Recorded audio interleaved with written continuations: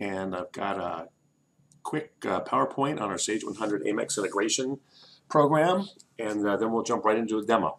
So uh, just a few key things uh, about our integration.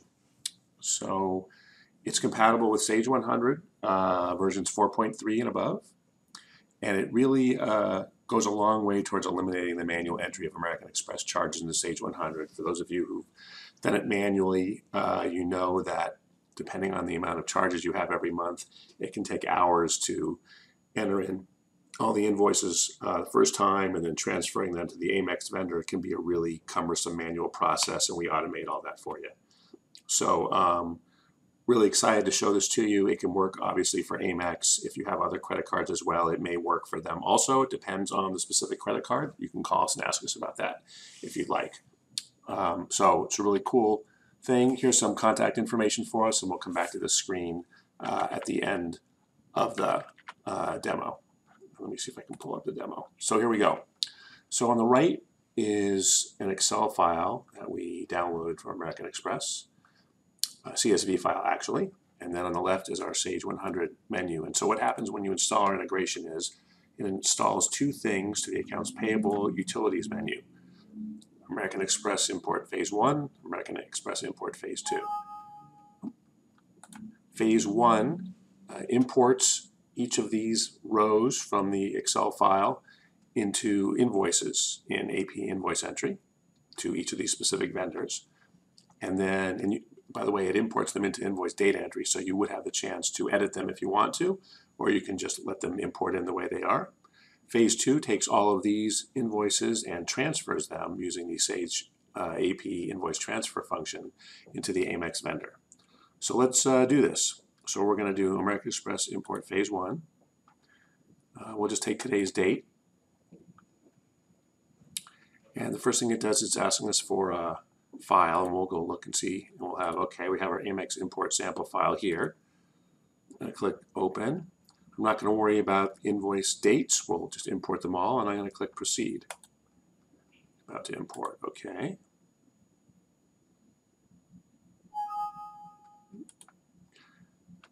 So it found a vendor in our file that it's not finding a vendor number for. And what it does is it takes these vendor names here and looks them up uh, in the vendor file. So I'm going to look up our vendors here and see what the deal is.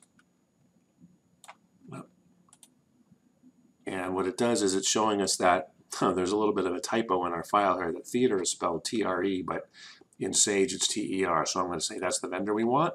It picks the default GL account. I'm going to say OK up found tax consultants. Not finding that one in the file either. Let's see if we can pick the tax consultants. Nope, tax consultants Inc. Great, and there's a GL account. Pacific Tel, didn't find that one. Let's see if we can find another one for that. There we go, Pacific Telephone, and there's a GL account for that. Roger Lerner, didn't like that one. And there we go. Roger Lerner right there.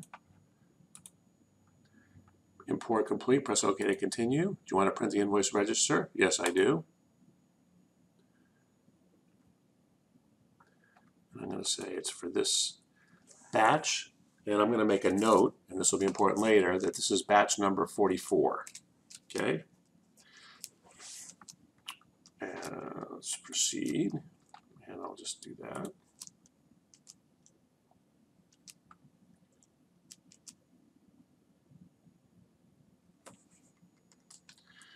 Okay, here we go. So it's batch number 44, register number AP dash 000025, and that may be important to know later. So I'm just making a little note about that. Okay, and here's our complete journal, and I'm just going to close it out. And I'm going to close out our transaction register too. I'm not going to worry about printing a daily transaction register. So now I'm going to go into American Express Import 2, which is going to take all those invoices just imported to the specific vendors and transfer them to the Amex vendor. So first thing it prompts me for is who's our Amex vendor, and it's only going to bring vendors up on this list that are flagged as credit card vendors. So I'm going to select that. Now it wants to know what the journal is.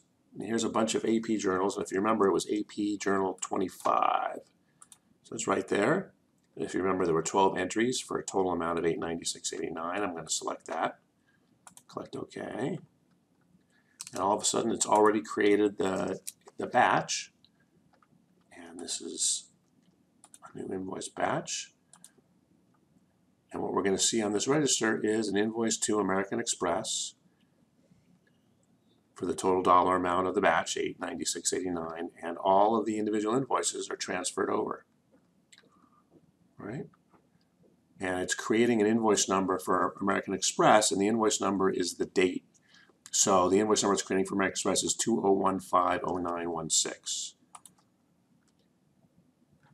And obviously there's no journal entry related to that. So now, if I went into my vendor inquiry, right, and I pull up my American Express vendor, and that's right here, and I click on invoices, here I go. I've got my open invoice for the total amount of all the all the charges in American Express, 896.89.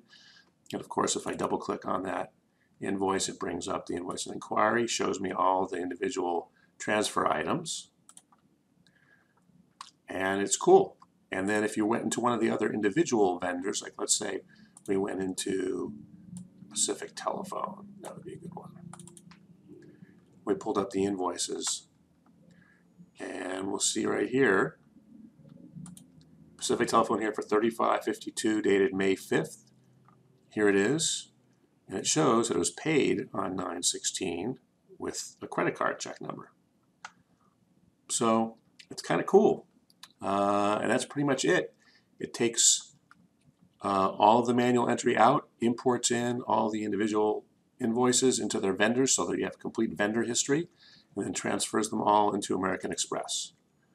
Uh, so it's a pretty cool thing.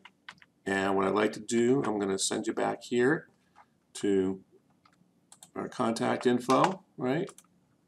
If you have any questions, feel free to email us or call us. And uh, thanks for your time.